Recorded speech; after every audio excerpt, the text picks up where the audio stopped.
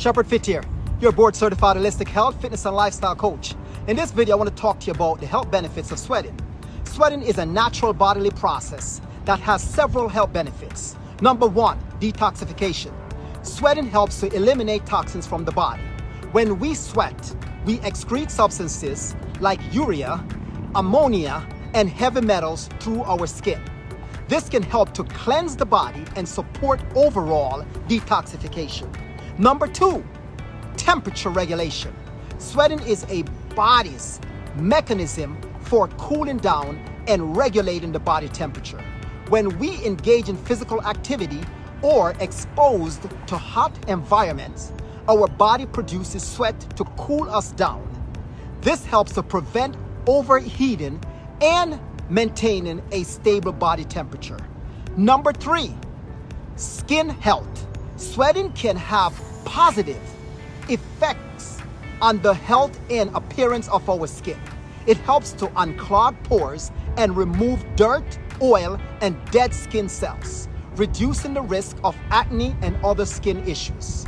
Sweating also increases blood flow to the skin delivering oxygen and nutrients that promote a healthy complexion. Number four, immune system support. Sweating can boost our immune system. Sweat contains antimicrobial peptides, which are natural antibiotics that help to fight against harmful bacteria, viruses, and fungi regular sweating can help strengthen the immune system and reduce risk of infections. Number five, stress relief. Sweating has been shown to reduce stress and improve mood. Physical activity and exercise which induce sweating stimulate the release of endorphins, also known as feel-good hormones. These endorphins can help to reduce anxiety, relieve stress, and improve overall mental well-being. Number six, cardiovascular health. Sweating can have cardiovascular benefits.